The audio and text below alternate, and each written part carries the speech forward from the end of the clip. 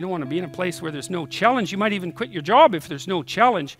Say, well, that's a good job. It gives you security. And you think, God, I can't stand this. It's eating away at my soul. It's all security and no challenge. So why do you want a challenge? Because that's what you're built for.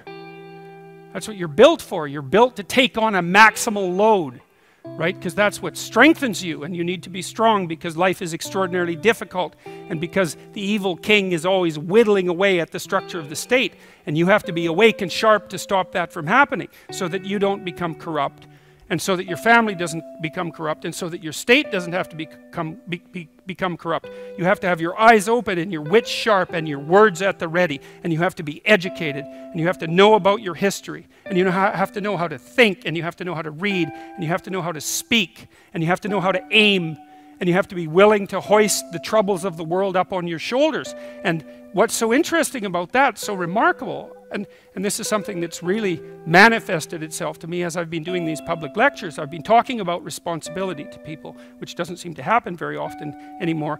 And the audiences are dead quiet.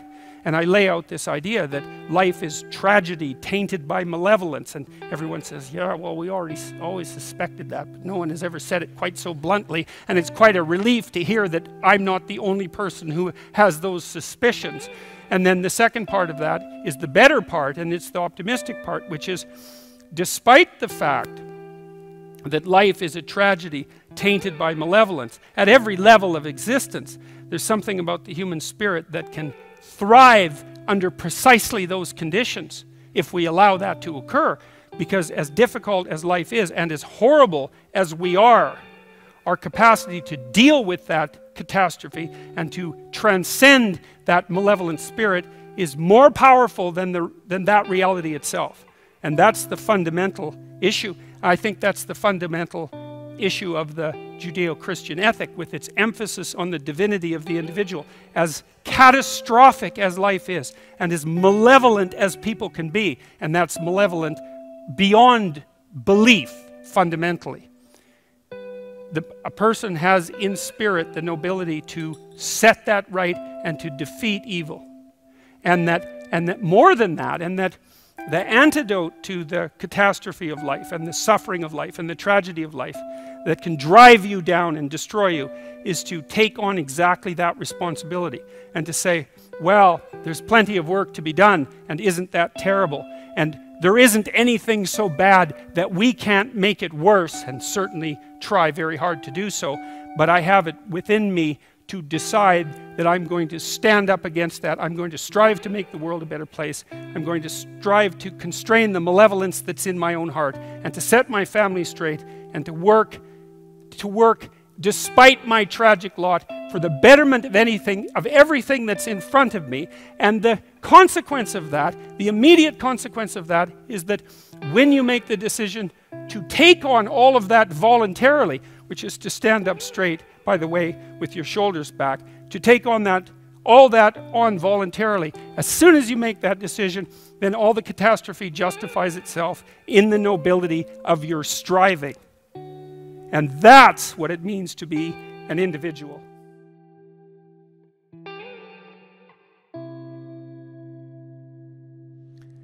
I don't want to calculate high resolution utopia for myself only to have it squandered by fortune. How do I ensure the meaning I experience is self determined? Well, you can't because there's an arbitrary element to existence, so it is going to be squandered to some degree by fortune. But that's that's not the point. What are you going to do? Just sit back on your laurels and wait for things to roll over you? So what you do, look, the hero myth basically says go out there, confront the dragon, get the gold, share it with the community and and and live properly. Or it says the alternative is face the tyrant enter the desert as a consequence because everything falls apart, recast structure, find the promised land. Those are the two elements to the hero myth. And you might and that's divine. It's, it's the closest thing to divine that we know.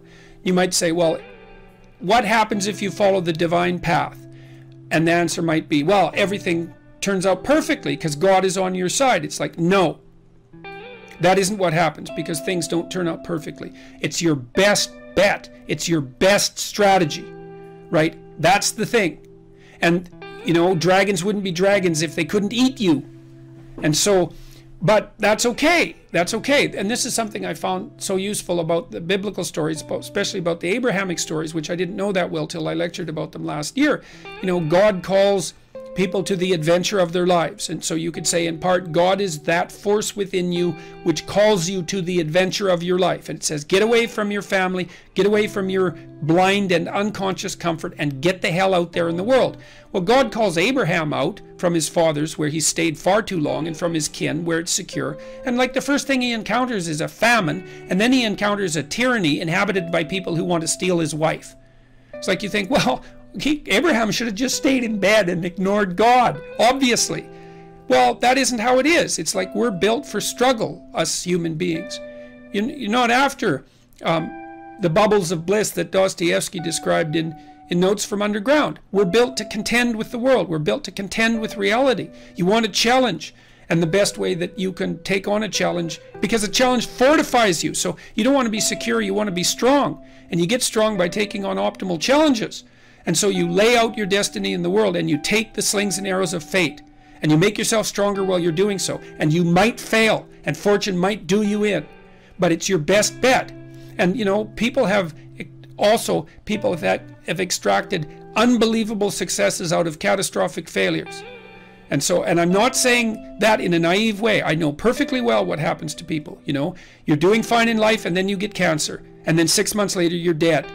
And all the heroism in the world isn't going to save you at that point. But that's not the point. That's not the point. Life is bounded by mortality. But that doesn't mean that you don't get out there and contend. And you develop by contending and you minimize the net amount of suffering in the world. And that's something, man. That's something to do. So it's it's it beats laying in your basement and getting bitter and then doing the terrible things that bitter people do. So you can't ensure that the meaning you experience is self determined, but you can play your role to the best of your ability, and that will be good enough. And that will be good enough. That meaning, the meaning that you will find in then in that, I believe, is sufficient to be sustaining and perhaps even sustaining through the flood.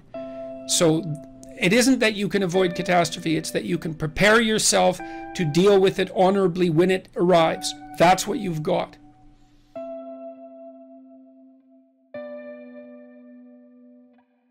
Now, this the baboon here, who's supposed to be basically just a fool when the story was first written, he turned into what's essentially a shaman across time.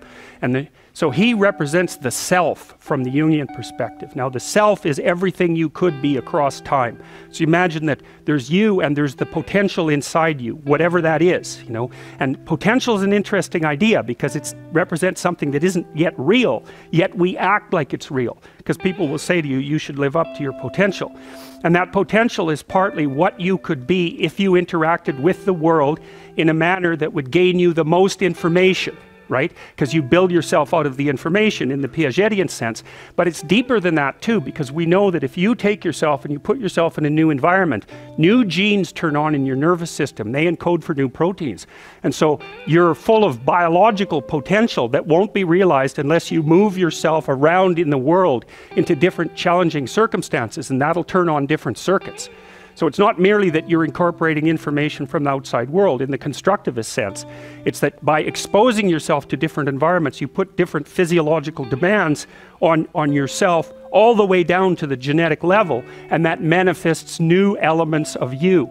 And so, one of the things that happens to people, and this is a very common cultural notion, is that you should go on a pilgrimage at some point to somewhere central, and that would be, say, like the rock in the Pride Rock in The Lion King, because you take yourself out of your dopey little village, and that's just the little bounded you that everyone knows and that isn't very expanded, and then you go somewhere dark and dangerous to the central place, and while you do that, you have adventures and they toughen you and pull more out of you, like partly because you're becoming informed, which means information.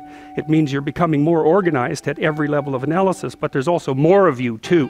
And so that's a very classic idea. And then in, in cathedrals in Europe, especially at Chartres, there's a big maze on the floor, a circular maze, which is a symbolic representation of the pilgrimage for people who couldn't do it. And so it's a huge circle divided into quadrants, which is a Jungian mandala. And you enter the maze at one point, and then you have to walk through the entire maze north, east, west, and south before you get to the center. And the center is symbolized by a flower that's carved in stone. It looks like this. It's big, this maze, eh? It's, it's, it's, it's large, so that you can walk it. And that's a symbolic pilgrimage. It takes you to the center. That's the center of the cross because it's in a cathedral, and that's the point of acceptance of voluntary suffering. That's what that means. And so you walk through Jung called that a circumambulation. You go to all the quarters of the world to find yourself. And so well, the self is, is the baboon in this particular, in this, I think he's a mandrill actually, in this particular representation. And he lives in the tree. He lives in the tree of life. It's a baobab tree in this particular. So he's the spirit that inhabits the tree of life. And he's the eternal wise man. That's a way of thinking. So is the king. But he's, he's sort of a superordinate king or an outside king in some sense. He's the repository of ancient wisdom, and the king is the manner in which that wisdom is currently being acted out in the world. And so they're friends, and that means that the king is a good king because if they if the king was a bad king he would be alienated from himself and that would make him shallow and one-dimensional and that would make him a bad ruler. No union with the traditions of the past. To be a good ruler you have to rescue your father from the underworld and integrate that. And of course that's a main theme in this entire movie